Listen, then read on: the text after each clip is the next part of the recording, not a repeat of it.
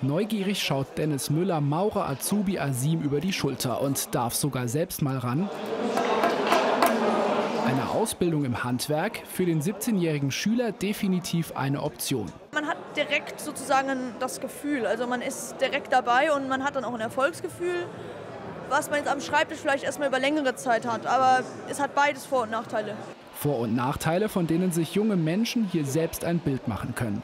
Rund 300 Unternehmen, Hochschulen und Universitäten sind auf der Aus- und Weiterbildungsmesse Jobs for Future in der Mannheimer Maimarkthalle. Der Austausch mit den Ausstellern, die teilweise selbst noch Azubis sind, ist auch für Dennis super wichtig. Besonders interessiere ich mich für das kann ich eigentlich gar nicht so genau sagen. Ich habe auch noch gar keinen richtigen Plan, für was ich mich interessiere. Deswegen bin ich ja gerade hier, um den ersten Eindruck zu bekommen.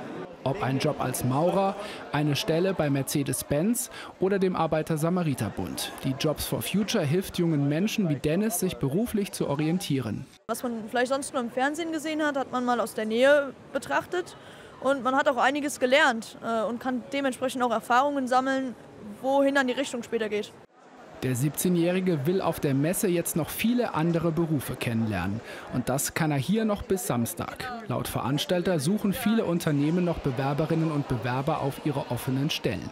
Die Handwerkskammer bietet zum Beispiel eine Last-Minute-Börse an, bei der mehr als 100 Ausbildungsplätze angeboten werden. Kultus- und Wirtschaftsministerium haben sich verhalten dazu geäußert, einen Tag des Handwerks an den allgemeinbildenden Schulen einzuführen.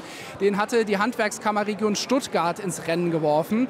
Grund sind die rückläufigen auszubildenden Zahlen. Jetzt stehen wir hier auf einer Messe, und zwar der Job for Future in Mannheim. Und da frage ich doch direkt mal Herrn Hofmann, wie wichtig ist denn die Sichtbarkeit und die Präsenz auf so einer Messe für das Handwerk in Baden-Württemberg? Ja, also wir sehen das aus dem Handwerk so, dass es ganz wichtig ist, dass wir uns mit unseren Berufsbildern aus dem Handwerk der Öffentlichkeit repräsentieren und uns darstellen mit den vielseitigen Berufen, die wir im Handwerk anzubieten haben. Was wünschen Sie sich denn vielleicht von der Politik? Ja, also wir fordern schon seit längerem, dass wir die Anerkennung von betrieblicher und akademischer Bildung gleichstellen. Dazu gehört auch, dass wir uns nach außen öffnen können und dass dann auch die Anerkennung für einen jungen Menschen, der in einem Ausbildungsbetrieb oder in einem Ausbildungsberuf dann seine berufliche Zukunft sieht, genauso anerkannt wird wie zum Beispiel dann der abgeschlossene Student, der dann eine akademische Berufslaufbahn einnimmt. Sind denn da schon auch konkrete Forderungen oder Pläne, die Sie dem Land gestellt haben?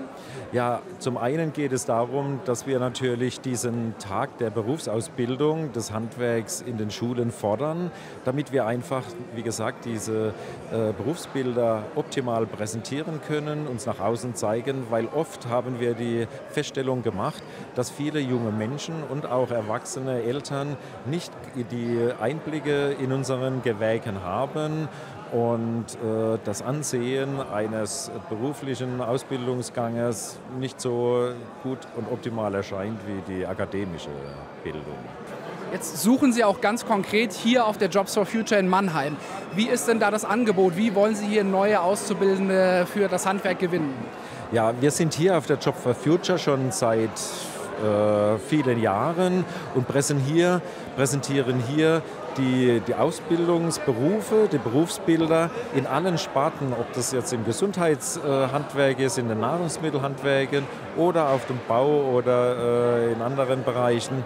Und da wollen wir mit einem ganz breiten Spektrum auch analog den jungen Menschen unser Handwerk näher bringen. Schauen wir doch mal auf die Zukunft, auf die Fachkräfte, die in Zukunft vielleicht fehlen. Gibt es denn da konkrete Zahlen?